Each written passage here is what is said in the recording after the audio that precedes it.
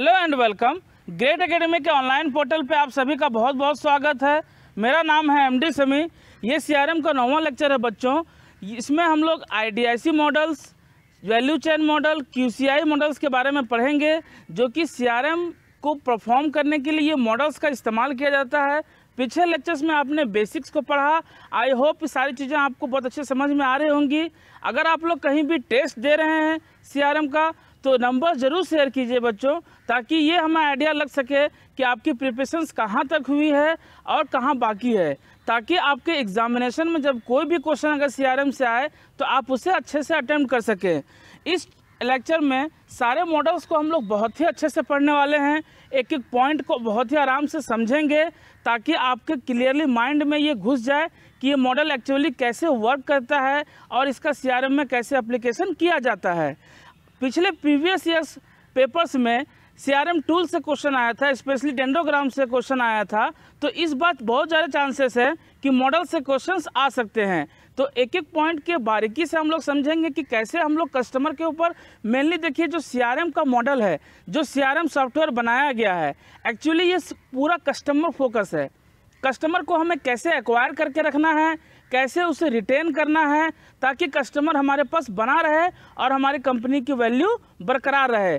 Value जो इसमें सी models में हम लोग पढ़ेंगे, जो कस्टमर्स ज़्यादा वैल्यूबल होते हैं वैल्यू एक सेकेंडरी पॉइंट हो जाता है। पर मेनली हम लोग यहाँ पे क्या फोकस करते हैं? जितने भी लेक्चर्स अभी तक हमने आपको बताए हैं, सारे लेक्चर्स में मैंने आपको बताया कि कस्टमर को कैसे हम लोग एक्वायर करेंगे, कैसे उनके पास जाएँगे, सारे डाटास को कलेक्ट करेंगे उनके नीड्स को समझेंगे उनके वांट्स को समझेंगे उस, उनके क्या क्या प्रेफरेंसेस है किस प्रोडक्ट में वो किस टाइप के टाइप्स के प्रोडक्ट्स वो चाहते हैं क्या क्वालिटी वो चाहते हैं जो सर्विसेज़ हम दे रहे हैं उससे वो संतुष्ट हैं कि नहीं है। तो कस्टमर का हम लोग सेगमेंटेशन करते हैं। डाटा माइनिंग में हमने देखा कि डाटाज को हमने कैसे कलेक्ट किया विजुलाइज किया और डाटा डिडक्शन टेक्निक में हमने डाटाज को रिड्यूस करके कस्टमर को डिवाइड किया। ताकि हम ये ये डिसाइड कर सकें कि किस कस्टमर को क्या हमें फोकस करना है। जैसे मान लीजिए अगर कोई कस्टमर हमारे पास आके हमारे शॉप पे साबुन लेके जा रहा है। अगर वो निर, निर्मा साबुन लेके जा रहा है अगर कुछ अगले महीने में हो सकता है कि किसी अदर कस्टमर से वो इन्फ्लुएंस होके विल साबुन लेने लगा। तो ये अगर हमारे पास डाटा नहीं रहेगा और अगर हम उसे निर्मा साबुन में ऑफर्स दे देंगे या उसमें ऑफर्स देंगे उसे ईमेल्स करेंगे तो क्या होगा कि वो प्रोडक्ट तो वो ले ही नहीं रहा है। तो इस ऑफ़र हमारा वेस्ट चला गया। जितना भी हमने उसको ऑफ़र दिया, सारा वेस्ट चला गया। तो ये सारा डाटा रहने का ये फ़ायदा होता है कि कब कस्टमर का वांट्स बदल रहा है, कौन सी ज़रूरत उसकी चेंज हो रही है, उसका प्रेफरेंस कैसे बदल रहा है, सारी चीज़ों को एनालाइज करके हम एक परफेक्ट सॉफ्टवेयर बनाते हैं ताकि अपने बिज़नेस को बहुत ही आराम से और इजीली रन कर सकें। तो बच्चों, एक बात का आप लोग ध्यान रखिए कि ये कंटेंट जो प्रोवाइड किया जा रहा है आपको, अच्छे से अच्छा कंटेंट हमारे टीम की ये कोशिश रहती है कि कम से कम टाइम में आपको प्रोवाइड कराया जाए। हमारे ये टीम का उद्देश्य रहता है कि आपका टाइम बच सके और कंटेंट अच्छा मिले। और आप लोग एक बात का और ध्यान दीजिएगा कि इस जो मॉडल्स मैं आपको बताऊँगा, हर एक चीज़ के डिटेल में मैं नहीं जाऊँगा यहाँ पे। आपको पीछे लेक्चर्स को फॉलो करते हुए चलना है ताकि एक एक पॉइंट आप वहाँ पे अच्छे से समझ सकें एक एक पॉइंट को मैंने बहुत ही डिटेल में पढ़ाया है। जो बच्चे स्किप कर जाते हैं, उनका पॉइंट छूट जाएगा तो सीआरएम नहीं समझ में आएगा। किसी भी चीज़ का बेसिक समझना बहुत ही ज़रूरी होता है। बेसिक से ही आपका आगे बिल्डिंग तैयार होता है फाउंडेशन आपकी मज़बूत होती है। तो ये मॉडल सारे बेसिक पे टिके हुए हैं। अगर आपका बेसिक नहीं क्लियर है बच्चों तो लेक्चर्स को प्लीज़ आप लोग फॉलो कीजिए। जो बच्चे मुझसे ये कह रहे थे कि सीआरएम का लेक्चर लेके आइए सीआरएम आपको पढ़ाइए तो मैंने आपको एक एक पॉइंट को पढ़ाया है तो सीआरएम आप लोग बहुत ही अच्छे से समझ जाएँगे और मॉडल्स को समझने के लिए बेसिक्स को समझना बहुत ज़रूरी है बच्चों। तो अच्छे से पढ़िए, बहुत ही अच्छे से प्रिपरेशन कीजिए, अच्छे नंबर्स को स्कोर करिए बच्चों क्योंकि आपको एग्ज़ाम एक ही बार चांस मिलेगा तो आपको प्रिपरेशन बहुत ही मज़बूत करना है ताकि आप ये चांस अच्छे से ग्रेस कर सकें। इस चांस आपको मिस ना हो, इसलिए आपको बहुत ही अच्छे से प्रिपेयर करते हुए चलना है बच्चों। हमारी ये कोशिश रहती है कि कोई भी कंटेंट छूट ना जाए कि आपके एग्ज़ाम में क्वेश्चन आए और आपको पता ही ना रहे। इसलिए सारे कंटेंट्स हमने कवर किए हैं बहुत ही अच्छे से रिसर्च करके तो पढ़ते रहिए। तो चलिए वीडियो को स्टार्ट करते हैं लेकिन अभी तक आ, अगर आपने हमारे चैनल को सब्सक्राइब नहीं किया है तो प्लीज़ इसे अभी सब्सक्राइब कर लीजिए ताकि मेरे द्वारा दी गई हर एक वीडियो की नोटिफिकेशन आपको टाइम पर मिलती रहे। तो देखिए सबसे पहले हम लोग समझते हैं आई मॉडल ऑफ़ सीआरएम तो बच्चों, इसको समझने के लिए हम लोग बहुत ही अच्छे से समझेंगे। एक एक पॉइंट को आप लोग ध्यान से सुनिएगा। जैसे मान लीजिए, अगर कोई कंपनी है तो कोई भी कंपनी अगर अपने प्रोडक्ट को सिर्फ़ बनाते जा रही है, बनाते जा रही है, बनाते जा रही है, वो कस्टमर के नीड्स को नहीं समझ रही है बच्चों, कि कस्टमर क्या चाह रहा है, कि कस्टमर के एक्सपेक्टेशंस क्या हैं। तो जब कंपनी हम प्रोडक्ट्स को बनाते जाएँगे बनाते जाएँगे, वो प्रोडक्ट्स को इस्तेमाल कर रही है, लेकिन वो कंप्लेन करेगी। एक टाइम पे हमारा फ्लो बहुत तेज़ चलेगा। लेकिन जैसे ही वो कस्टमर प्रोडक्ट को इस्तेमाल करेगा तो क्या होगा कि उसमें कंप्लेंट्स आएँगी, उस समय दिक्कतें आएँगी। हमने कोई सर्विसेज़ दिया नहीं है तो सर्विसेज़ वो कैसे ले पाएँगे? तो प्रोडक्ट्स हमारे धीरे धीरे मार्केट से हटने लगेंगे डिमांड कम होने लगेगी। तो कंपनी को बहुत सारी परेशानियाँ होने लगी, बहुत सारी दिक्कतें होने लगी। ऐसे क्या होगा? ऐसी कंपनी जो है मार्केट से वैनिश हो जाएगी। तो कंपनी ने जब एनालाइज किया, समझा चीज़ों को कि हमारे ऐसा प्रोडक्ट सब क्यों हो रहा है? तो वो देख रही है कि हम तो कस्टमर के नीड्स को समझ ही नहीं रहे हैं। कस्टमर का जो कंप्लेन है, उसको हम लोग समझ ही नहीं पा रहे हैं। कस्टमर से इंटरेक्ट ही नहीं हो पा रहे हैं कि कस्टमर क्या चाह रही है। क्योंकि जो वो प्रोडक्ट्स बना रही है मार्केट में अगर पहले से अवेलेबल है तो वो प्रोडक्ट्स को क्यों लेगी? सोचने वाली बात है कि अगर हम किसी जैसे मान लीजिए अगर समोसा बिक रहा है मार्केट में तो सेम टाइप के समोसा अगर हर जगह मिले, अगर हमारा प्रेफरेंस है कि हम तीखी चटनी खाते हैं और तीखी चटनी हमें नहीं मिल रही है। तो हम क्यों समोसे को खाने जाएँगे वहाँ पे? हम नहीं खाएँगे। हमें, हमारे नीड्स जहाँ पूरी होगी, हम वहाँ जाके खाएँगे कि अरे यहाँ पे चटनी अच्छी मिलती है, ये पनीर भी डालता है इसमें मटर भी डालता है, बादाम भी डालता है। चलो यहाँ पर चलते हैं। तो वहाँ पे हमारा क्या हो रहा है कि रिक्वायरमेंट पूरा हो रहा है। हम वहाँ सेटिस्फाई हो जा रहे हैं। जैसे मान लीजिए अगर एप्पल है एप्पल एप्पल एक वैल्यूबल ब्रांड है, आप सभी जानते हैं। तो एप्पल्स अगर अभी 16 मेगापिक्सल की कैमरा बना रही है और वो चार जी रैम उसमें दे रही है गेमिंग एक्सपीरियंस भी उसका अच्छा है प्रोसेसर भी बढ़िया है तो अगर वो अगर कोई कस्टमर हमसे ये बोलता है कि आप उससे दो मेगापिक्सल कैमरा बनाइए और उस प्रोडक्ट को सस्ता करिए तो इससे क्या होगा कंपनी की वैल्यू जो है वो घट जाएगी बच्चों। तो कोई भी कंपनी जो अपनी वैल्यू बना चुकी है, वो कभी ये नहीं चाहेगी कि उसका वैल्यू घटे, क्योंकि मार्केट में जो कस्टमर हैं उसके पास, जो उनके नीड्स हैं, उसके आधार पर अपने प्रोडक्ट्स को बनाती है वैल्यू अपनी क्रिएट कर चुकी है तो वो कभी भी इस तरह के प्रोडक्ट्स को नहीं बनाएगी।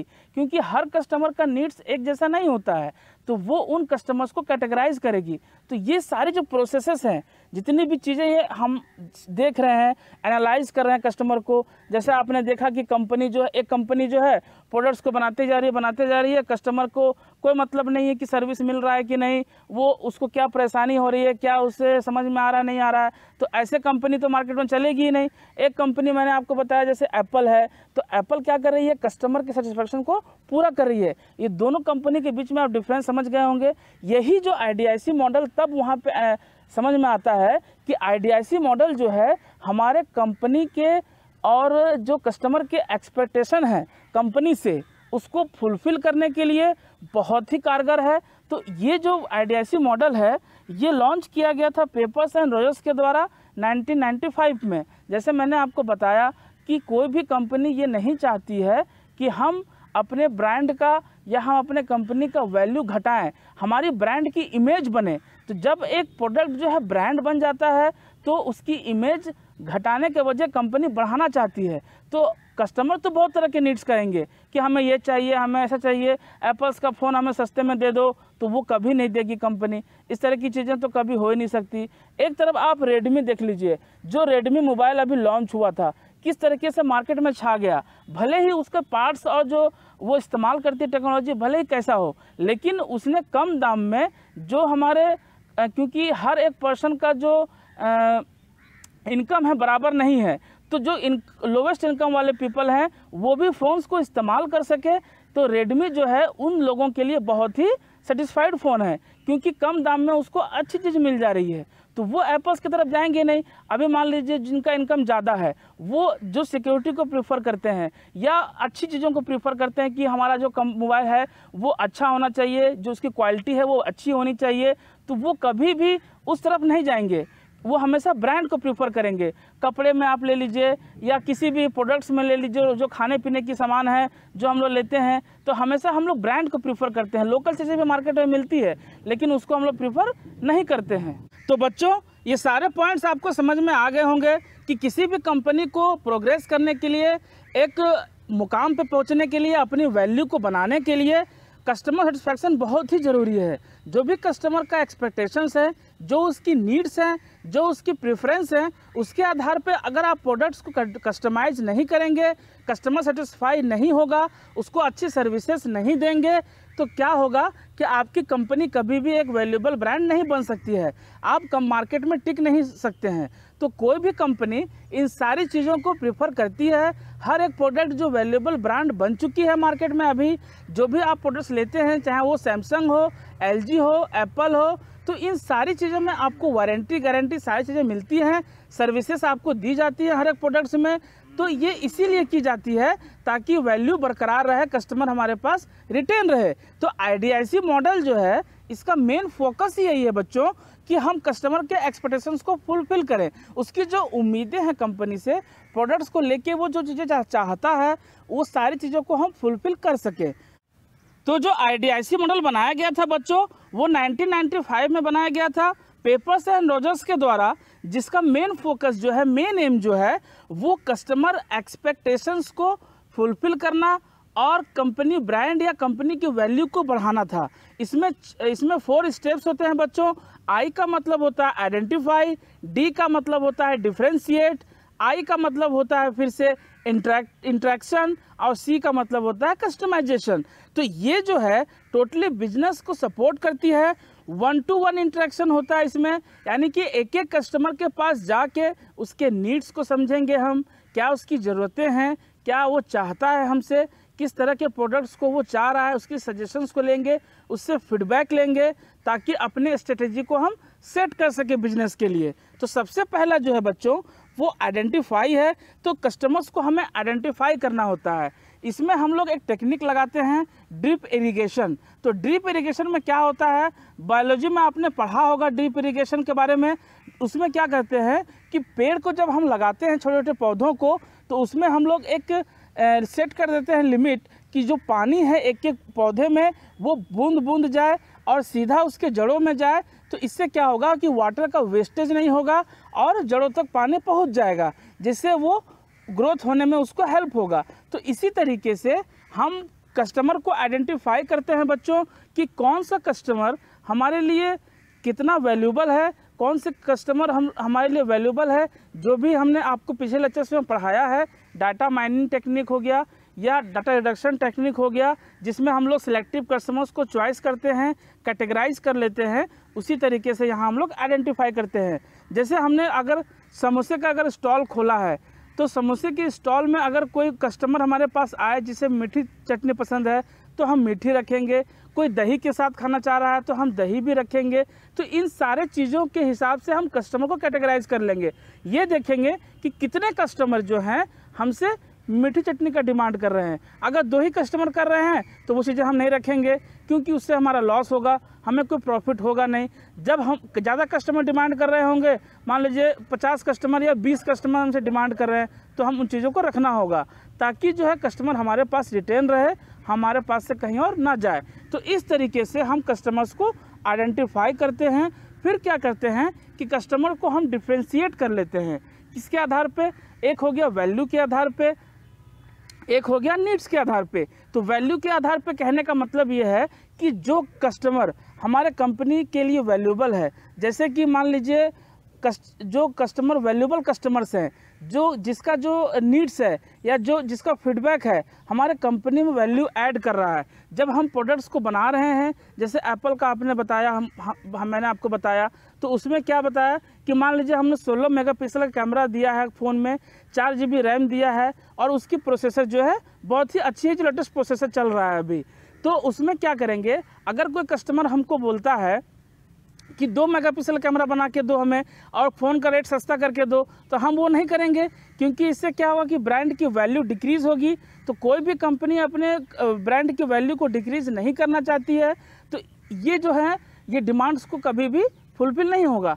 अगर कोई जो कस्टमर है, वो हमसे ये चाहता है कि हम उसे 48 मेगापिक्सल का कैमरा दें और आठ जी बी रैम दें ताकि जो प्रोसेसर है, उनका काम फास्ट हो सके और प्रोसेसर भी अच्छा करके दें। तो ये चीज़ें क्या होंगी? हमारे कंपनी में वैल्यू ऐड करेंगी और हमारे कंपनी की वैल्यू भी बढ़ेगी। तो फीडबैक किसी भी कंपनी जो हमसे लेती है कस्टमर से, इसलिए ज़रूरी है ताकि कस्टमर्स जो हैं, वो हम सेटिस्फाई हो सके और हम अपने कंपनी का जो है वैल्यू बढ़ा सकें। तो कंपनी में किस तरीके से वैल्यू ऐड की जाती है स्ट्रेटजी हम कैसे बनाते हैं तो इसमें हम लोग वही काम करते हैं। तो डिफ्रेंसिएशन में जो है, वो वैल्यू के आधार पे और नीड के आधार पे हम दो कस्टमर्स को कैटेगराइज कर लेते हैं। जो हमारा कंपनी में वैल्यू ऐड करेगा कस्टमर उसी कस्टमर की नीड्स को हम फुलफिल करेंगे। उसके, उससे इंटरेक्ट करेंगे।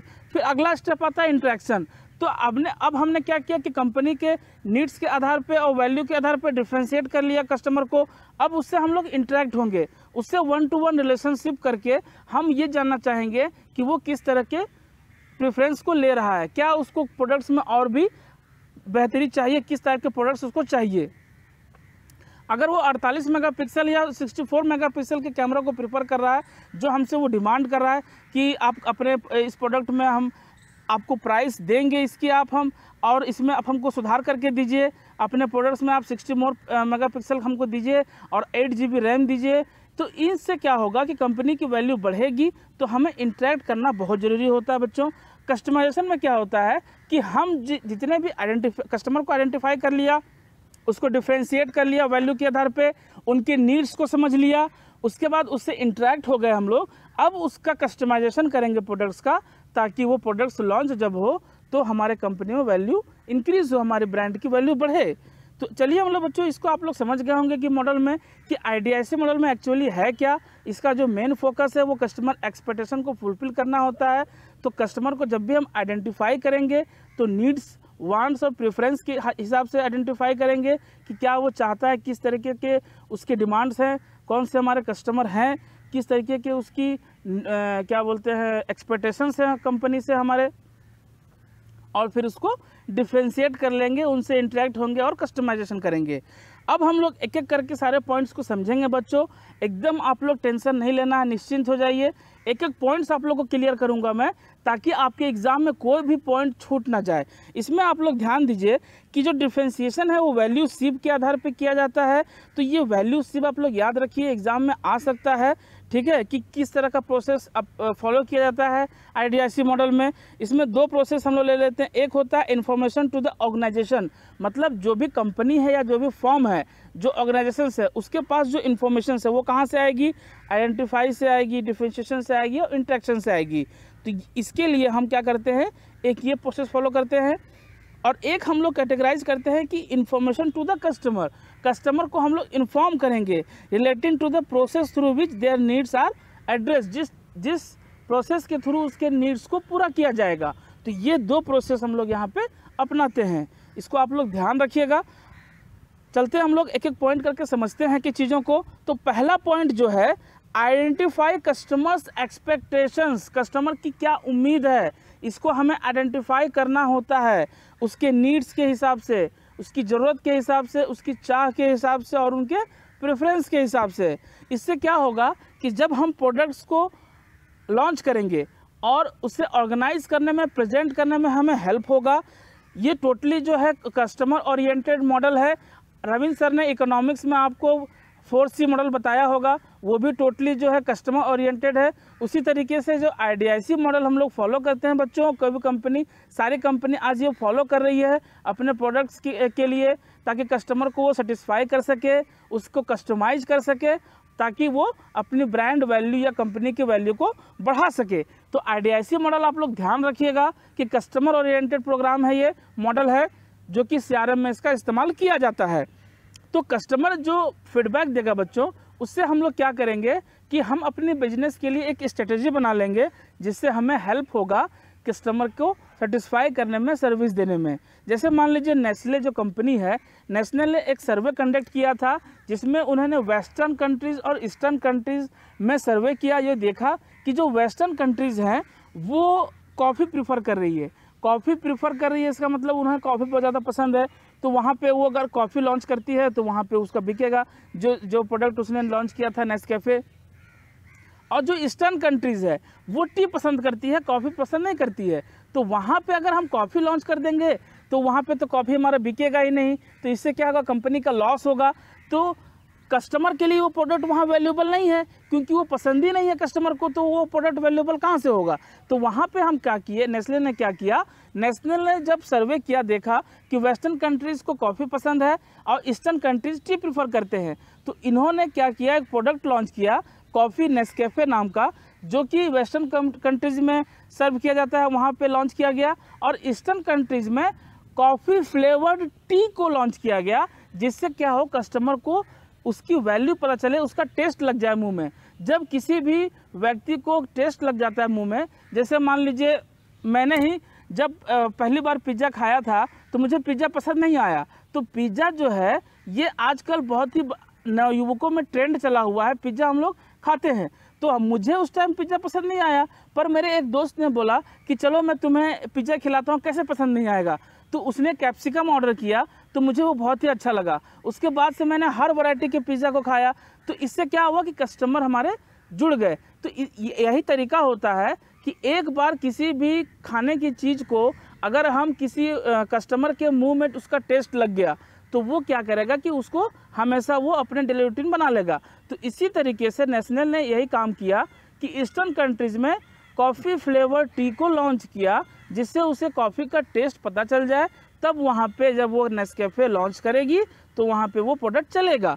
तो इसी तरीके से बच्चों आइडेंटिफिकेशन बहुत ही ज़रूरी होता है कि कौन सा कस्टमर कौन, किस प्रोडक्ट को प्रिफर करता है, क्या उसकी ज़रूरतें हैं, क्या वो चाहता है तो ताकि हमें अपने कंपनी की वैल्यू को बढ़ाने में, अपनी ब्रांड की वैल्यू को बढ़ाने में इम्प्रूवमेंट हो सके, हमें हेल्प मिल सके।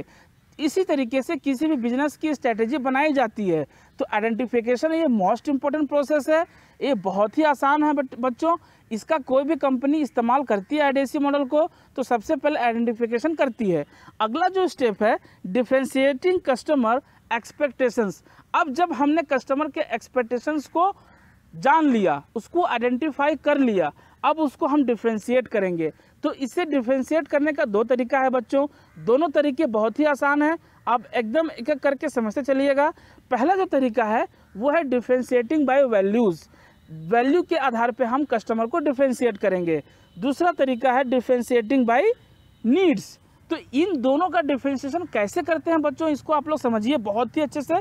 पहला जो वैल्यू के आधार पे हम डिफ्रेंशिएशन करते हैं तो हम ये आइडेंटिफाई करने की कोशिश करते हैं, जानने की कोशिश करते हैं कि जो हमने कस्टमर को आइडेंटिफाई किया है। जैसे अभी मैंने आपको एग्जांपल बताया कि ईस्टर्न कंट्रीज़ में जो है, वो कॉफ़ी पसंद नहीं करता है। तो वहाँ के लिए जो कॉफ़ी है नेस्कैफ़े जो लॉन्च किया नेस्ले ने, वो वैल्यूबल प्रोडक्ट वहाँ के लिए नहीं है, क्योंकि वहाँ के लोगों को कॉफ़ी पसंद ही नहीं है। तो वहाँ पर वो प्रोडक्ट वैल्यू नहीं करेगी। तो ये जो डिफ्रेंशिएशन हम कर रहे हैं, यहाँ पर क्या कर रहे हैं? वहाँ पर टी पसंद है।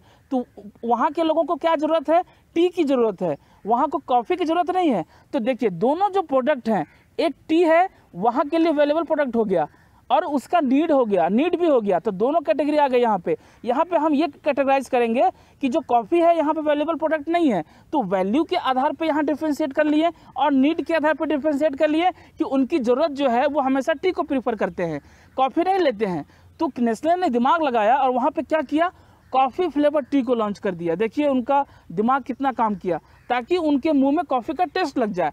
अब जो वेस्टर्न कंट्रीज़ है, अगर वहाँ हम टी लॉन्च कर दें तो वहाँ पे टी चलेगा ही नहीं। वहाँ पे टी जो है, वो अनवेल्यूबल प्रोडक्ट हो गया। और नेस्कैफ़े जो है कॉफ़ी जो है वेल्यूबल प्रोडक्ट हो गया। तो वहाँ के लोगों के लिए ज़रूरत क्या है? कॉफ़ी की ज़रूरत है। वो कॉफ़ी ज़्यादा प्रीफर करते हैं। दो बार, तीन बार, चार बार वो लेते हैं। जैसे यहाँ के हिंदुस्तान के जो लोग हैं, हम लोग इंडिया में रहते हैं तो यहाँ के लोगों को टी ज़्यादा पसंद है। टी बहुत जगह आपको स्टॉल भी मिल जाएगा, जगह जगह पे आपको नुक्कड़ पे भी स्टॉल मिल जाएगा टी का। तो यहाँ के लोग टी ज़्यादा प्रेफर करते हैं, कॉफ़ी प्रेफर नहीं करते हैं। तो इस तरीके से मार्केट की हमें एनालिसिस करना होता है कस्टमर को आइडेंटिफाई करने के बाद वैल्यू किस प्रोडक्ट का कहाँ पे कितना वैल्यू है। अगर हम किसी प्रोडक्ट को लॉन्च कर रहे हैं तो क्या वो वैल्यूबल प्रोडक्ट है कस्टमर के लिए? अगर कस्टमर के लिए वो प्रोडक्ट वैल्यूबल है, तभी हमारे कंपनी का वैल्यू बढ़ेगा, हमारे ब्रांड का वैल्यू बढ़ेगा। तो ये सारे पॉइंट्स को आप लोग अच्छे से समझ गए होंगे बच्चों। नेक्स्ट पॉइंट पे हम लोग चलते हैं।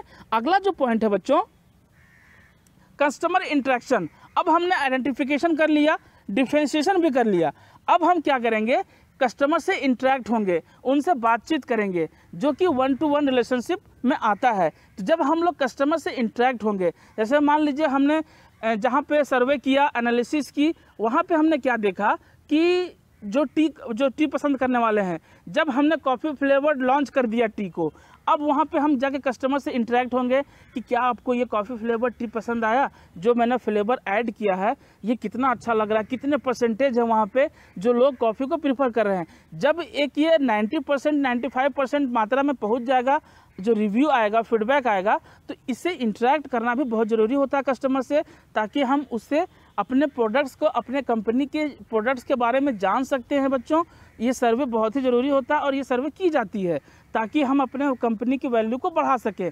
तो इंट्रैक्शन बहुत ही ज़रूरी होता है बच्चों। जैसे कि मान लीजिए, जो यूनिलीवर कंपनी है तो यूनिलीवर ने क्या किया कि कस्टमर के पास जाके सारी जो पॉसिबल इम्प्रूवमेंट्स हैं, इसके बारे में डिस्कशन किया इंटरेक्ट किया लोगों से फीडबैक लिया। उसके बाद अपने जो उसके कंपनी पार्टनर्स हैं चेयरमैन हैं सी हैं, सब बैठ के मिल के डिस्कशन किया कि यहाँ के कस्टमर्स ये डिमांड कर रहे हैं, यहाँ के कस्टमर्स ये डिमांड कर रहे हैं, यहाँ के कस्टमर्स की ये एक्सपेक्टेशंस हैं, ये नीड्स हैं उनका, ये उनकी प्रेफरेंसेस हैं। तो जितने सारे पॉसिबल इम्प्रूवमेंट्स हैं, जिस तरीके से हम अपने कंपनी के प्रोडक्ट्स को स्ट्रेटजी को सेट कर सकते हैं, उस तरीके के ऊपर डिस्कशन करने के बाद फोकस करने के बाद उन्होंने कस्टमर ओरिएंटेड प्रोडक्ट्स को बनाया। तो यूनिलीवर जो है बच्चों, ये कोई भी कंपनी हो, चाहे यूनिलीवर हो, चाहे वो नेशनल नेस्ले हो तो जो भी मार्केटिंग जब मार्केट में उतरती है कंपनी जब अपने प्रोडक्ट्स को वो लॉन्च करती है तो ये सारा सर्वे करना होता है, जो कि आई मॉडल के द्वारा की जाती है। तो आजकल जो ट्रेंड चला है बच्चों, जो सीआरएम हम लोग पढ़ रहे हैं जो भी सीआरएम का हम लोग बेसिक्स पढ़े, ये मॉडल देख रहे होंगे आप कितना आसान है। लेकिन जो बेसिक्स को पढ़ा होगा बच्चों, ये बहुत ही आसानी से समझ जाएगा। ये मॉडल बहुत ही आसान है बच्चों। तो सीआरएम के बेसिक्स को पढ़ना बहुत ही ज़रूरी है। जो बच्चों ने हमारे लेक्चर्स को फॉलो नहीं किया है बच्चों प्लीज़ उससे फॉलो कीजिए। एक एक पॉइंट्स आप लोग को समझना बहुत ज़रूरी है, तभी ये मॉडल आपको बहुत ही आसान लगेगा और आसानी से समझ में भी आ जाएगा। अगला पॉइंट है बच्चों इंटरेक्शन हमने कर लिया कस्टमर से, अब हम कस्टमाइज करेंगे to meet the customer expectations उससे फुलफिल करने के लिए। हमने कस्टमर्स को आइडेंटिफाई कर लिया। क्या क्या उसके एक्सपेक्टेशंस हैं, क्या नीड्स हैं, क्या प्रेफरेंस हैं, सारे के आधार पे हमने कस्टमर्स को आइडेंटिफाई किया। फिर हमने कस्टमर को दो कैटेगरीज में डिवाइड कर लिया डिफ्रेंशिएट कर लिया वैल्यू के आधार पे नीड के आधार पे। फिर हम कस्टमर के पास जाके इंटरेक्ट हो गए, सारे इन्फॉर्मेशंस को ले लिया कि जब हमने वो क्या क्या चाहता है हमारे से अब हम क्या करेंगे? अपने प्रोडक्ट्स को कस्टमाइज करेंगे।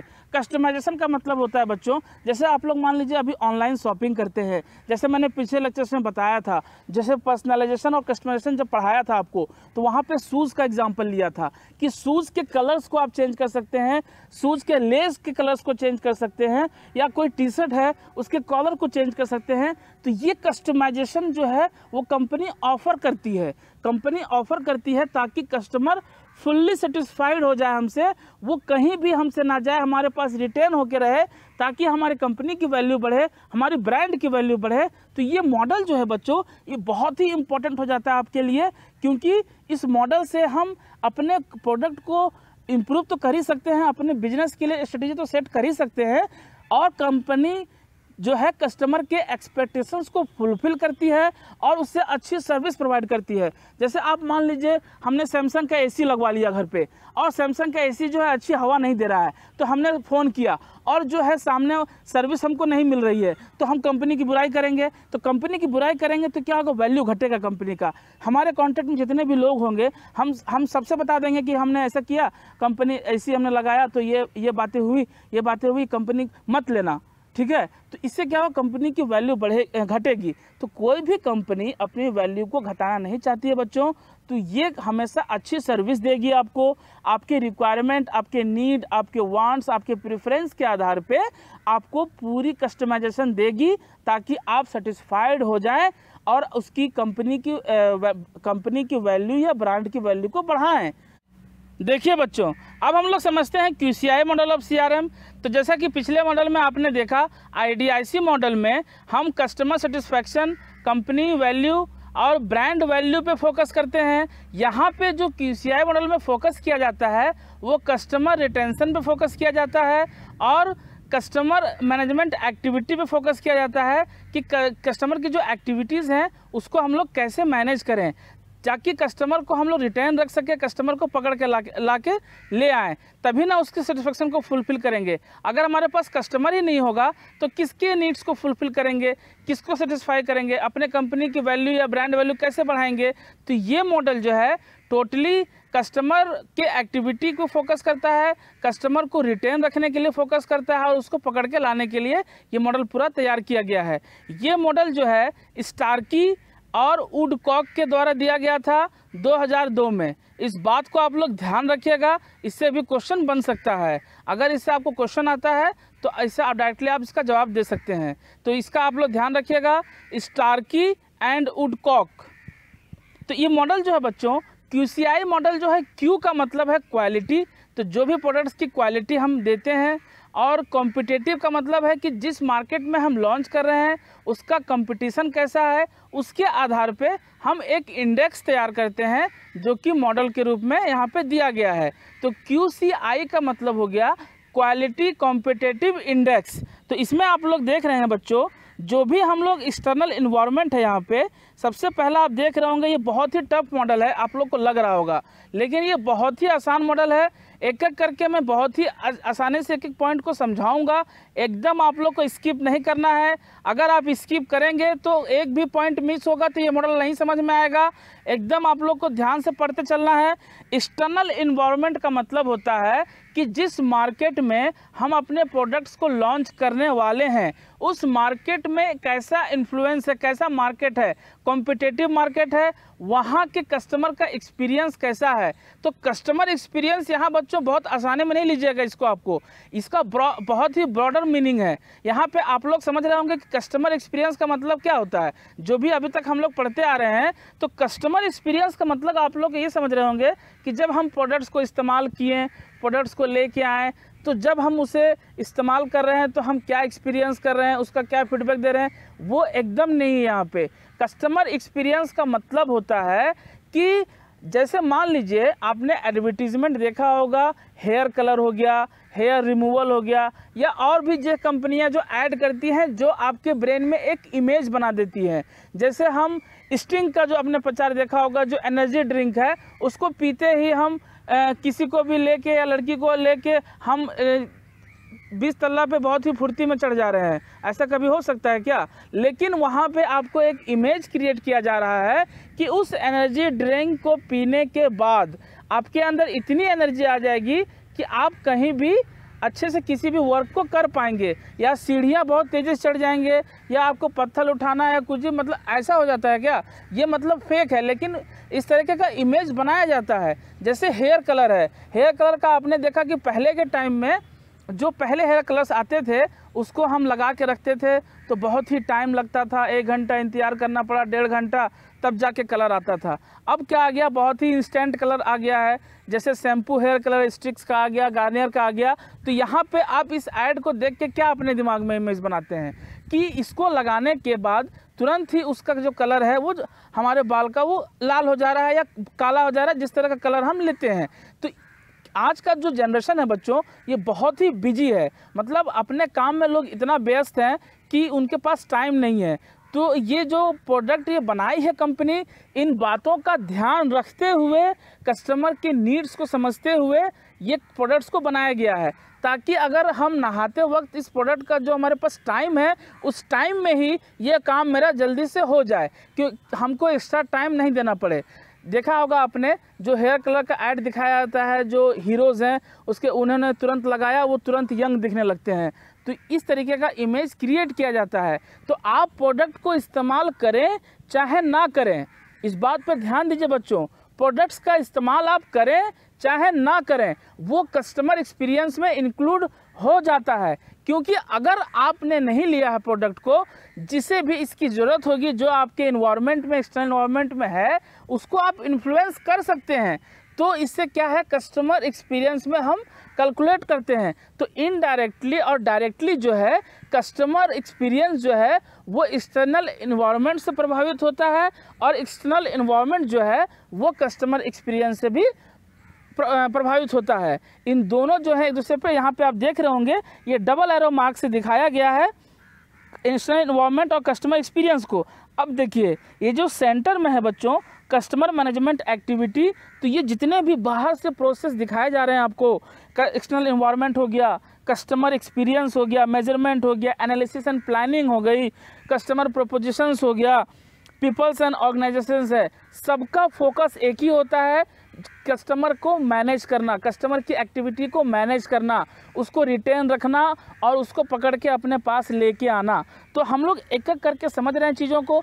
एक्सटर्नल इन्वायरमेंट आपको समझ में आ गया कि कैसे वो कस्टमर एक्सपीरियंस को अफेक्ट कर रहा है कस्टमर एक्सपीरियंस कैसे एक्सटर्नल इन्वायरमेंट को अफेक्ट कर रहा है तो आप सम, अच्छा सा आपका इमेज बन गया होगा दिमाग में कस्टमर एक्सपीरियंस जो है बच्चों वो प्रोडक्ट आप किसी का लें चाहे नहीं लें पर जो उसकी ब्रांडिंग होती है उसकी एडवर्टीजमेंट की जाती है आपके ब्रेन में एक इमेज बना दिया जाता है तो आप उसका इस्तेमाल करें चाहे नहीं करें बच्चों कस्टमर एक्सपीरियंस में वो कैलकुलेट की जाती है जब इसका कैलकुलेशन होगा क्यूसीआई मॉडल में तो हम उसे उसमें लेंगे।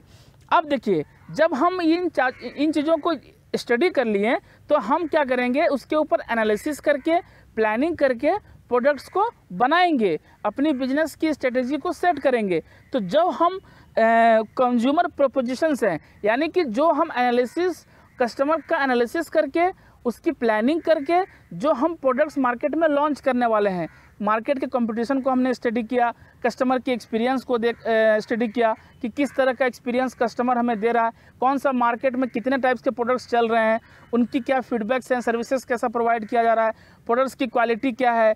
इन सारी चीज़ों को स्टडी करने के बाद एनालाइज करने के बाद जब हम अपनी प्लानिंग करेंगे और जब हम अपने प्रोडक्ट्स को लॉन्च करेंगे तो कंज्यूमर प्रपोजिशंस में बच्चों, ये प्रोडक्ट्स जो हम देते हैं और जो सर्विसेज़ हम देते हैं, जैसे मान लीजिए किसी भी प्रोडक्ट्स को आप लेते हैं तो फ़ोन्स में जो है वन ईयर की वारंटी दी जाती है। जो एक्सेसरीज़ हैं, उसकी सिक्स सिक्स मंथ की दी जाती है और फ़ोन की वन ईयर की दी जाती है। अगर कोई कंपनी उसको दो ईयर का एक्सटेंड कर दे तो उसको ज़्यादा जो कंज्यूमर है, उस पर ज़्यादा फोकस करेगा। क्योंकि अब उन्होंने क्या किया कि पहले तो हमें वन ईयर का ही वारंटी मिल रहा था और जो एक्सेसरीज़ हैं, उस पर सिक्स मंथ का मिल रहा था। लेकिन अब अगर कोई कंपनी अगर लॉन्च करती है और उसमें दो साल की वारंटी को बढ़ा के देती है तो कंज्यूमर क्या करेगा? उसके तरफ़ भाग जाएगा। तो यही चीज़ जो हम देते हैं अपने कंज्यूमर को, ये आ जाता है कंज्यूमर प्रपोजिशंस में। और मेज़रमेंट क्या होता है बच्चों? जो भी फीडबैक्स या जो भी हम प्रोसेस अपना चला रहे हैं, या कंज्यूमर्स को जो स्टडी कर रहे हैं, जो उनकी फीडबैक्स हैं एक्सपीरियंसेस हैं, उसके जो भी हम मेजर करते हैं, जो हमारे कंपनी को वैल्यू ऐड कर रहा है, और जो हमारे प्रोसेस में जितने भी मेज़रमेंट हो रही हैं, जो हमारे एम्प्लॉयज़ हैं, इस पर सारा वर्क कर रहा है, इसको हम लोग मेजर करते हैं क्वालिटी मेज़रमेंट करते हैं।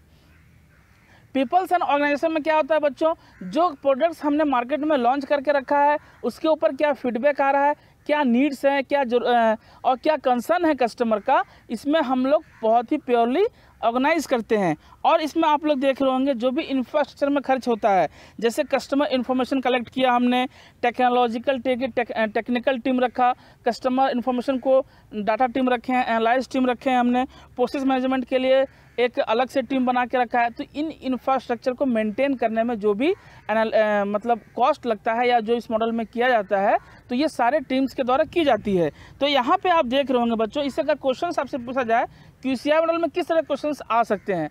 अगर आपके माइंड में, आप तो समझ गए होंगे क्यू मॉडल है क्या? हम एक एक पॉइंट को डिटेल में और भी समझेंगे आगे, लेकिन यहाँ हम आपको ब्रीफ डिस्कशन इंट्रोडक्शन दे रहे हैं कि क्यू मॉडल है क्या? क्वालिटी कॉम्पिटेटिव इंडेक्स तो यहाँ पे क्वेश्चंस बच्चों अराइज हो सकता है कि इसको किस किन्होंने फाउंड किया? तो मैंने आपको बताया कि स्टारकी और उडकॉक ने फाउंड किया 2002 में। इस पॉइंट को आप लोग याद रखिएगा।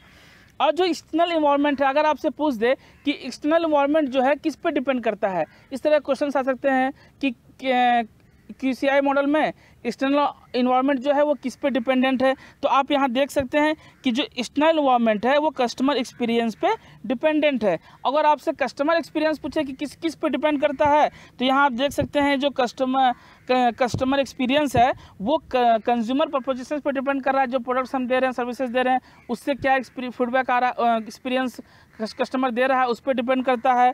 जो भी मेज़रमेंट हम लोग करते हैं, उस पर डिपेंड करता है। और इनडायरेक्टली पीपल्स एंड ऑर्गेनाइजेशन पे भी डिपेंड करता है और एक्सटर्नल इन्वायरमेंट पे भी डिपेंड करता है। तो इस तरीके के क्वेश्चंस आपको आ सकते हैं। और एक चीज़ यहाँ पे आप लोग देखिए ध्यान से एनालाइजिंग एंड प्लानिंग और ये कंज्यूमर जो प्रपोजिशंस है मतलब एनालाइज एनालिसिस करने के बाद प्लानिंग करने के बाद जो प्रोडक्ट्स हम कस्टमर को दे रहे हैं या जो सर्विसेज़ दे रहे हैं, वो दोनों एक दूसरे पर डिपेंडेंट है। हमने एनालाइज किया प्लानिंग की, तभी तो वो प्रोडक्ट लॉन्च किया हमने कस्टमर के लिए। और कस्टमर जो प्रोडक्ट्स हमारे पास है, वो एनालाइज करने के बाद तैयार हुआ। तो ये दोनों जो है, एक दूसरे पर डिपेंडेंट है, इस बात को आप लोग ध्यान दीजिएगा।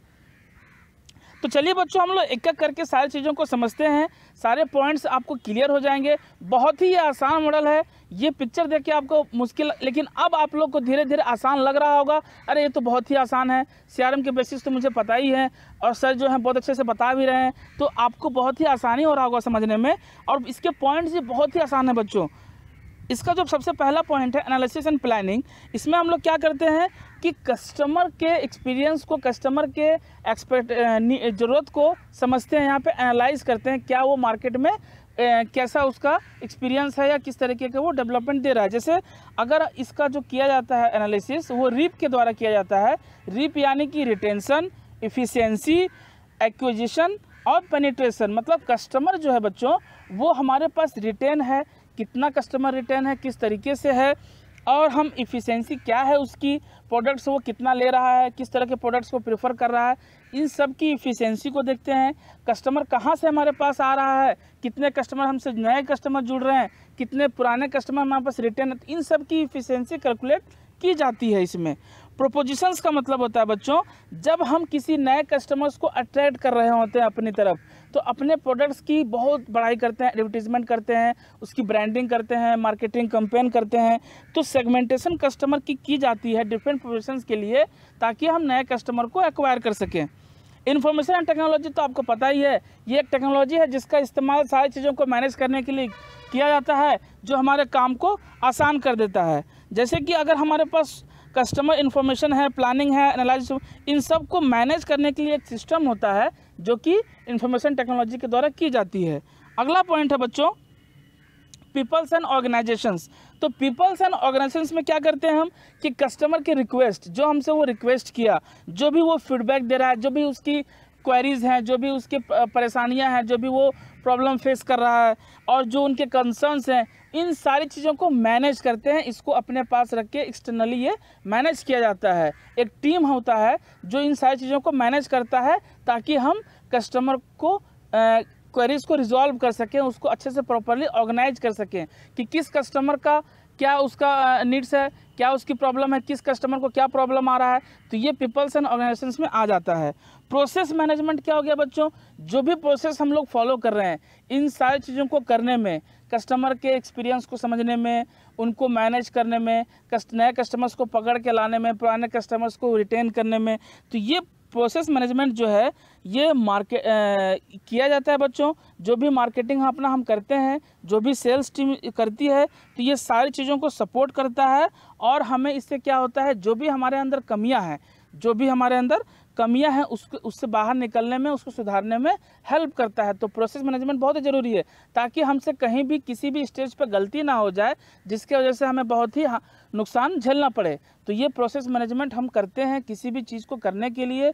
प्रोसेस मैनेजमेंट बहुत ही इंपॉर्टेंट एक भाग हो जाता है, ताकि हम अपने गलतियों को, अपने शॉर्टकमिंग्स को इम्प्रूव कर सकें।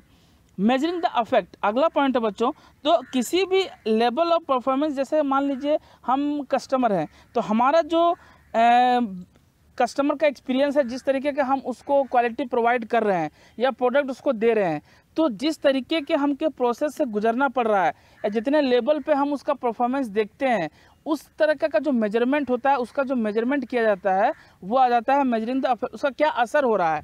जो प्रोडक्ट्स हमने मार्केट में लॉन्च किया हुआ है, उसका क्या असर दिख रहा है कस्टमर्स के ऊपर? क्या वो डिमांड उसका बढ़ रहा है कि घट रहा है? या उसके अंदर कुछ कमी तो नहीं है?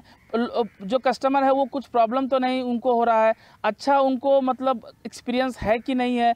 तो जो हमने सेल्स टीम या प्रॉब्लम सॉल्विंग टीम जो है सर्विसेज़ टीम जो हमने मार्केट में रखी हुई है, वो सही से सर्विस प्रोवाइड कर रही है कि नहीं? तो इन चीज़ों का मापदंड हमें करना होता है मेजर करना होता है तो ये इस मॉडल में आ जाता है। अगला जो पॉइंट है बच्चों कस्टमर एक्सपीरियंस तो मैंने आपको बताया कि ये एक्सटर्नल इन्वायरमेंट पर डिपेंड करता है। इसका बहुत ही ब्रॉडर मीनिंग है, ताकि हम अपने जो भी सी प्रोसेसेस हैं, उसको अच्छे से कर सकें। तो जब हम अपने कस्टमर्स को लेके आएँगे, तभी तो उसके ऊपर हम काम कर पाएँगे। उसके, उससे रिलेशंस को मेंटेन करेंगे, उससे अच्छे से हम अपने पास अच्छे अच्छे ऑफ़र देंगे, ताकि हमारे पास वो रिटेन रहे तो जितने भी सीआरएम के प्रोसेसेस हैं कस्टमर एक्सपीरियंस ये उसको करने में हेल्प करता है। तो कस्टमर एक्सपीरियंस ज़रूरी नहीं है कि वो प्रोडक्ट्स को इस्तेमाल करने के बाद ही उसको हम अपने में जोड़ें।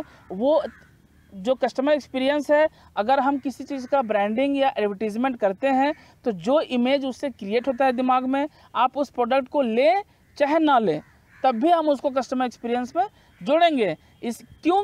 क्योंकि आप उससे एक्सटर्नल इन्वायरमेंट जो है और भी जो कस्टमर्स हैं, उसको आप अफेक्ट कर सकते हैं। इस वजह से कस्टमर एक्सपीरियंस को हम एक्सपीरियंस उसमें जोड़ लेंगे। जो भी हम कस्टमर्स होंगे, वो प्रोडक्ट का इस्तेमाल करें चाहे ना करें। अगला पॉइंट जो है बच्चों कस्टमर मैनेजमेंट एक्टिविटी तो कस्टमर मैनेजमेंट एक्टिविटी तो मेन फोकस है इस मॉडल का। जितने भी हमने प्रोसेसेस पढ़े एनालिसिस हो गया एंड प्लानिंग हो गया कंज्यूमर पोजिशंस हो गया मेजरिंग द अफेक्ट हो गया पीपल्स एंड ऑर्गेनाइजेशंस हो गया कस्टमर एक्सपीरियंस हो गया एक्सटर्नल इन्वायरमेंट हो गया, ये सारे जो पॉइंट्स है बच्चों, किसी भी कस्टमर को अरेंज करने के लिए मैनेज करने के लिए, या कस्टमर को पकड़ के लाने के लिए, नए कस्टमर को अपने से जोड़ने के लिए और जो कमा, हमारे पास कस्टमर पहले से मौजूद हैं, उनको रिटेन रखने के लिए ये सारे प्रोसेस का मेन कोर क्या है? Consumer management activity customer management activity कह लीजिए या फिर। तो ये जो है, ये सबसे मेन पार्ट है इस मॉडल का। इसका आप लोग एकदम ध्यान रखिएगा। एग्ज़ाम में क्वेश्चंस कहीं से भी आ सकते हैं बच्चों।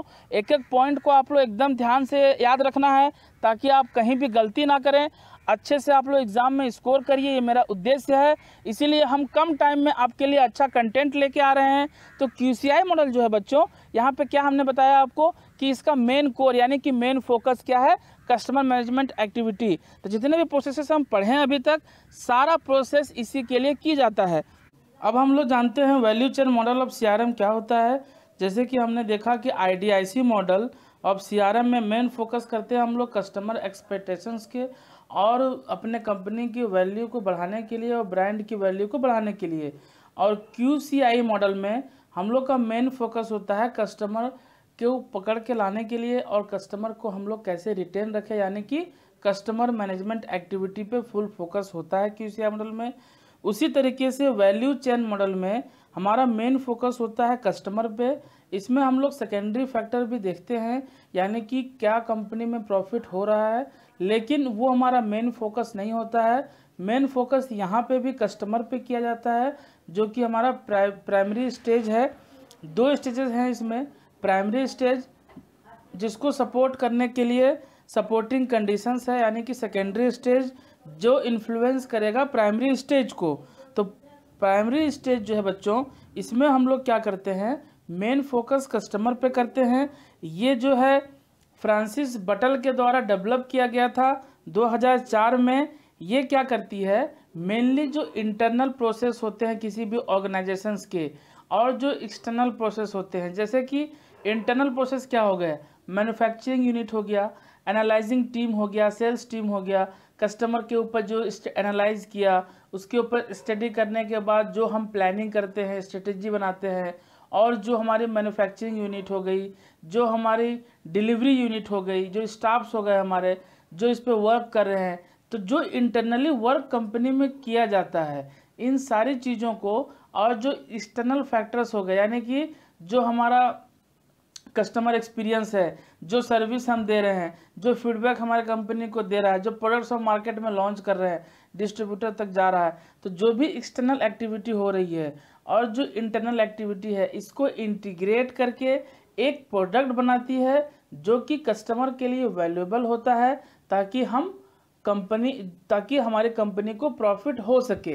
तो इन सारे प्रोसेसेस को इंटीग्रेट करके हम एक वैल्यूएबल प्रोडक्ट को बनाते हैं अपने कंज्यूमर के लिए, जो हमारे कंपनी को प्रॉफिट देता है। तो इसका जो मेन फोकस होता है बच्चों, वो कंज्यूमर पे किया जाता है। ये दोनों बिजनेसेस को सपोर्ट करता है। B to B and B to C यानी कि बिज़नेस टू बिज़नेस किसी बिज़नेस इंडस्ट्री को अगर हम देते हैं, जैसे कि डिस्ट्रीब्यूटर हो गया, या डायरेक्टली हम कंज्यूमर्स को देते हैं, यानी कि बिज़नेस टू कंज्यूमर तो ये दोनों बिजनेसेस को सपोर्ट करता है। और प्राइमरी स्टेज जो होता है बच्चों, ये पाँच फैक्टर्स पर डिपेंड करता है। इसमें हम लोग ये देखते हैं कि जो कस्टमर हमारे पास पहले से मौजूद है, या फ़र्स्ट टाइम हमारे पास आया है तो लॉन्ग टर्म उसके चांसेस क्या है? यानी कि यहाँ पे कस्टमर लाइफ टाइम वैल्यू निकाला जाता है, जो मैंने आपको पिछले लेक्चर्स में बताया है कि हम हाइपोथेटिकली ये मान लेते हैं कि ये हमारे पास रिटेन रहेगा। तो ये चांसेस को भी यहाँ पे कैलकुलेट किया जाता है। सेकेंड जो है बच्चों assess a customer level of connect with the organisation means customer जो है, वो ऑर्गेनाइजेशन से कितने लेवल तक कनेक्ट है? मतलब किस तरीके के प्रोडक्ट्स को ले रहा है, किस हद तक उसका परसेंटेज क्या है कनेक्शन लेवल का? हमारे कंपनी के प्रोडक्ट्स को वो कितना इस्तेमाल कर रहा है, इन सारी चीज़ों का भी हम मापदंड करते हैं। थर्ड जो है बच्चों, जो भी हम नेटवर्क को डेवलप करते हैं, यानी कि मार्केट में हमें अपने प्रोडक्ट्स को चलाने के लिए हमें सप्लायर्स चाहिए डिस्ट्रीब्यूटर चाहिए सेल्स टीम चाहिए तो मार्केट में इन चीज़ों को फैलाने के लिए जो नेटवर्क हम डेवलप करके रखे हैं, ताकि हमें कोई दिक्कत ना हो, कोई परेशानी ना हो। तो उस नेटवर्क को डेवलप करने के लिए भी हम यहाँ पे कर सकते हैं। और जो चौथा पॉइंट है create a value proposition means जो भी हम प्रोडक्ट्स कस्टमर को दे रहे हैं, उसका कितना वैल्यू है, उस प्रोडक्ट को प्रोडक्ट को कितने लोग चाह रहे हैं, उसकी वैल्यू क्या है, जो सर्विसेज़ हम प्रोवाइड कर रहे हैं। तो कस्टमर का रिव्यू फीडबैक सारा यहाँ इम्पोर्टेंट हो जाता है। और पांचवा पॉइंट है बच्चों manage the cycle of customer management जो भी कस्टमर को हम मैनेज कर रहे हैं अपने कंपनी में, उसके रिटेंशन रेट को, उसके फीडबैक को, उसके नीड्स को, जो भी हम मैनेजमेंट कर रहे हैं, उसके साइकिल्स को भी यहाँ पे मैनेज किया जाता है। तो इन इस जो वैल्यू चैन मॉडल है बच्चों, इसका मेन फोकस तो आप लोग समझ चुके होंगे कि इसमें दो स्टेजेस हैं। प्राइमरी एंड सेकेंडरी तो प्राइमरी स्टेज जो है, उसको सेकेंडरी स्टेज सपोर्ट करता है।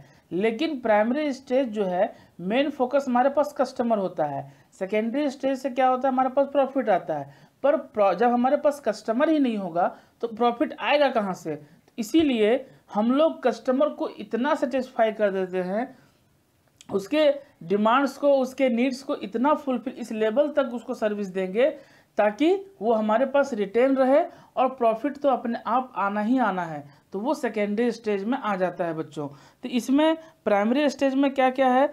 कस्टमर पोर्टफोलियो एनालिसिस मतलब टोटली कस्टमर के ऊपर एनालिसिस की जाती है कि कौन सा कस्टमर कितना वैल्यूबल है हमारे लिए क्या क्या उसके मतलब ज़रूरतें हैं, किन चीज़ों को वो प्रिफर कर रहा है, क्या वो प्रोडक्ट को ले रहा है या नहीं ले रहा है।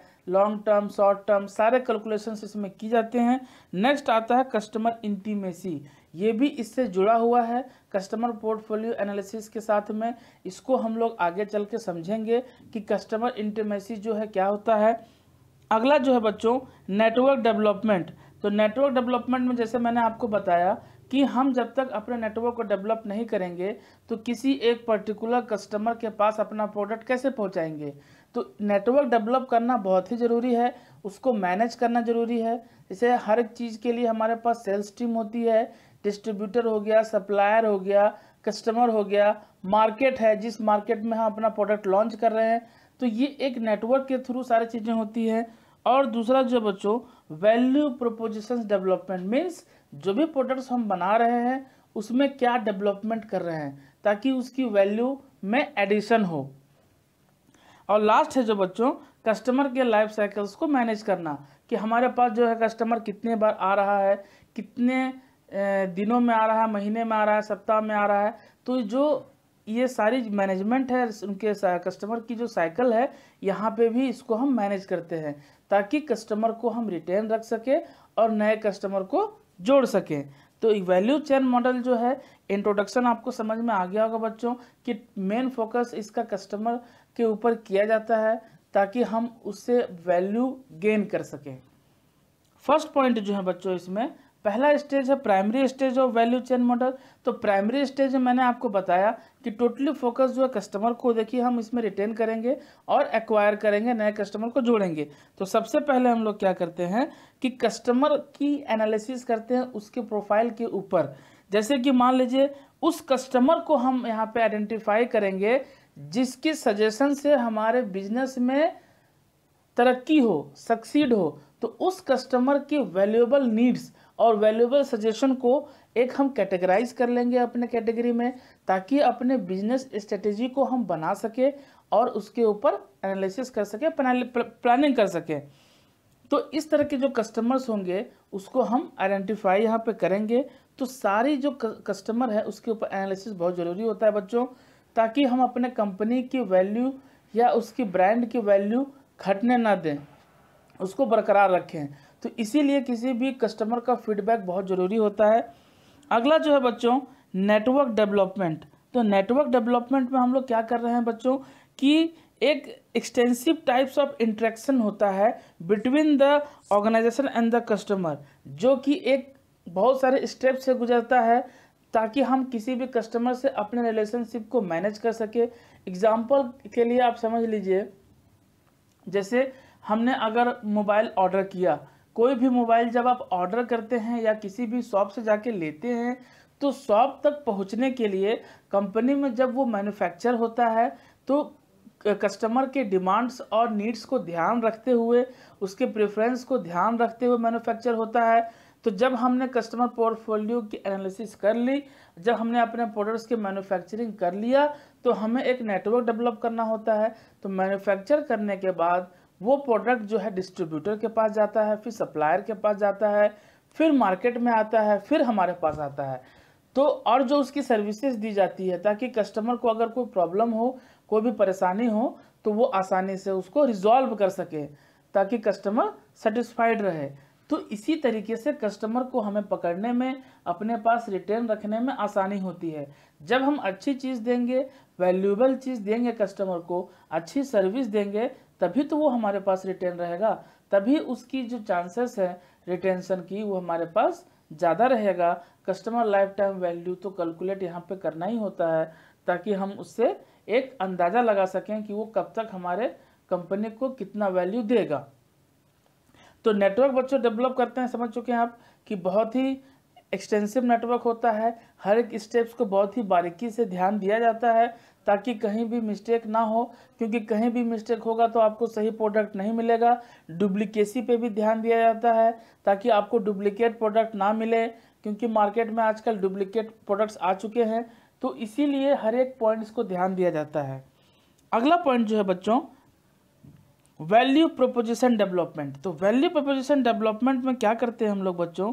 ये चार स्टेप्स इसमें होते हैं आइडेंटिफिकेशन ऑफ़ रिसोर्स रिसोर्स को आइडेंटिफाई करते हैं कि किस तरह के रिसोर्स हम दे रहे हैं। उसके बाद उसमें हम क्या क्या डेवलपमेंट कर सकते हैं। Development of sources and development of products and services मतलब जो भी प्रोडक्ट्स हम मार्केट में लॉन्च किए हुए हैं, उस प्रोडक्ट्स में क्या क्या हम डेवलपमेंट कर सकते हैं। क्या क्या उसमें इम्प्रूवमेंट कर सकते हैं? अपने सर्विसेज़ को किस तरीके से इम्प्रूव कर सकते हैं? इसी तरी इसी, इन सारे चीज़ों को ध्यान दिया जाता है ताकि हम अपने प्रोडक्ट्स की वैल्यू बढ़ा सकें, अपनी ब्रांड की वैल्यू बढ़ा सकें।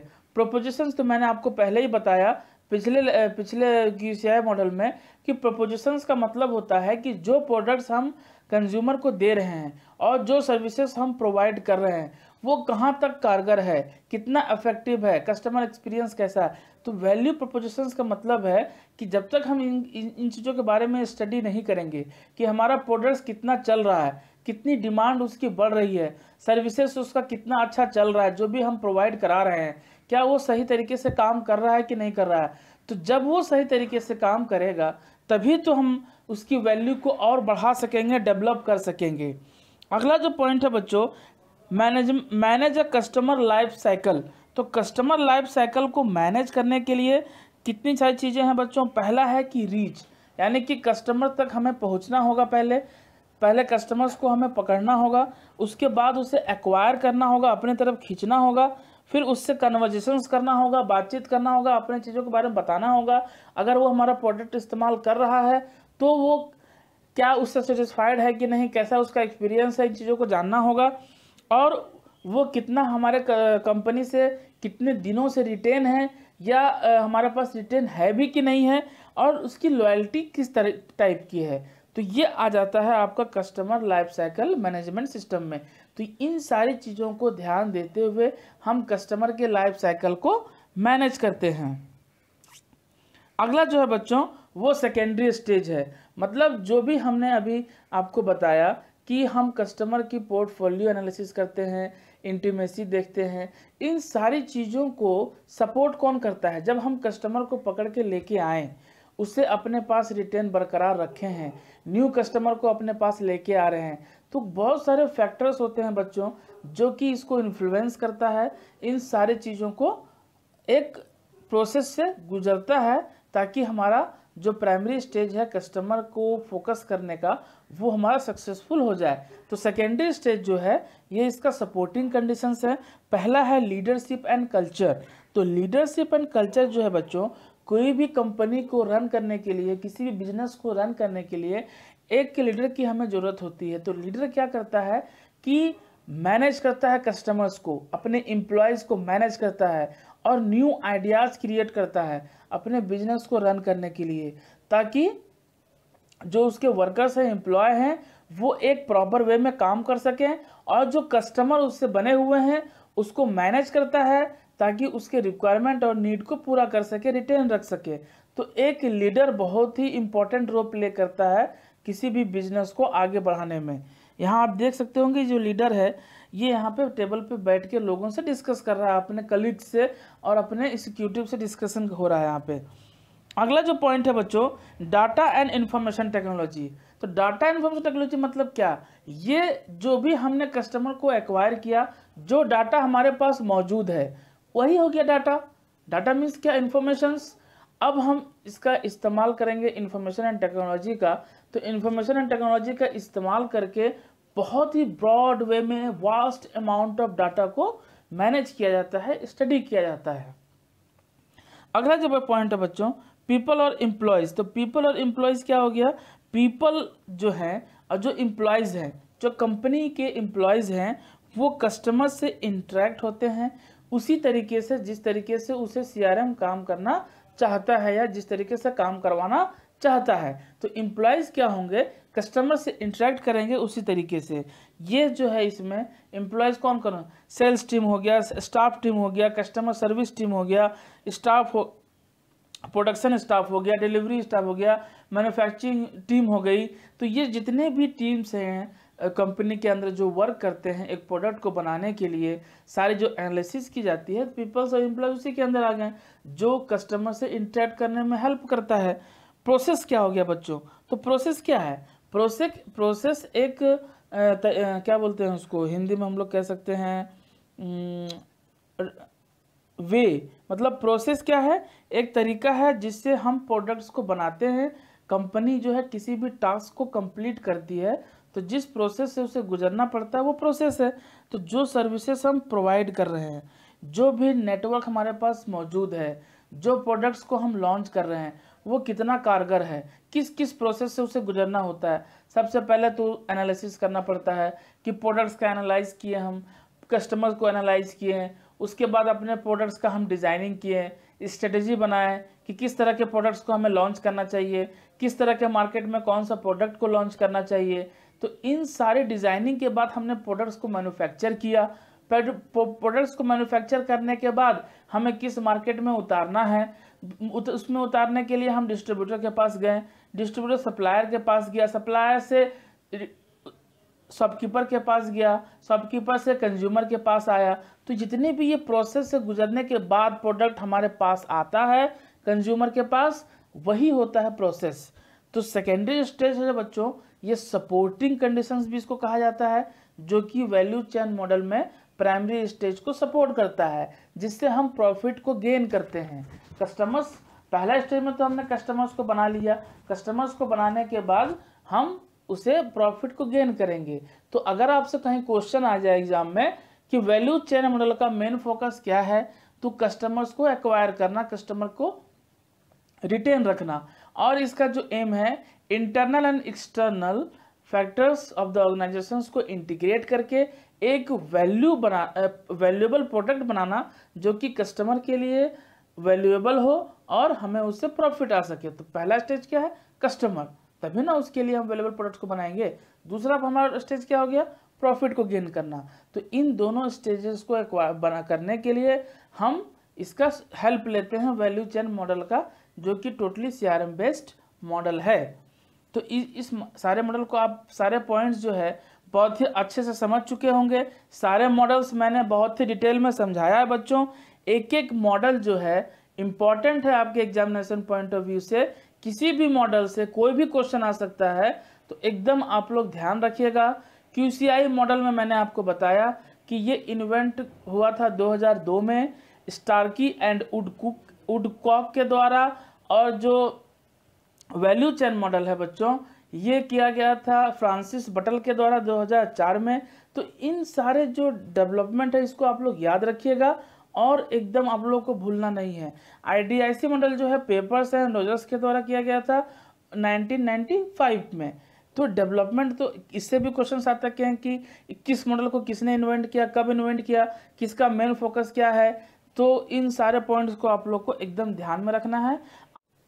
आई होप ये सारे पॉइंट्स आपको समझ में आ गए होंगे बच्चों। सारे मॉडल्स बहुत ही आसान हैं और बहुत ही आसान तरीके से मैंने आपको समझाया है। आपके एग्ज़ाम में कोई भी क्वेश्चन आ सकते हैं तो आप लोग को अच्छे से स्कोर करना है और अच्छा परफॉर्म करना है। Thank you for watching my video अगर इस वीडियो से जुड़ी कोई भी आपको डाउट है तो आप मुझसे कमेंट बॉक्स या टेलीग्राम चैनल पे पूछ सकते हैं, जिसका लिंक डिस्क्रिप्शन बॉक्स में दिया रहता है। इन सब के आप नोट्स बना लीजिए या हमारे पीडीएफ को फॉलो कीजिए। पीडीएफ आपको टेलीग्राम चैनल पे मिल जाएगा, जिसका लिंक डिस्क्रिप्शन बॉक्स में रहता है। मिलते हैं नेक्स्ट वीडियो में। तब तक के लिए जय हिंद।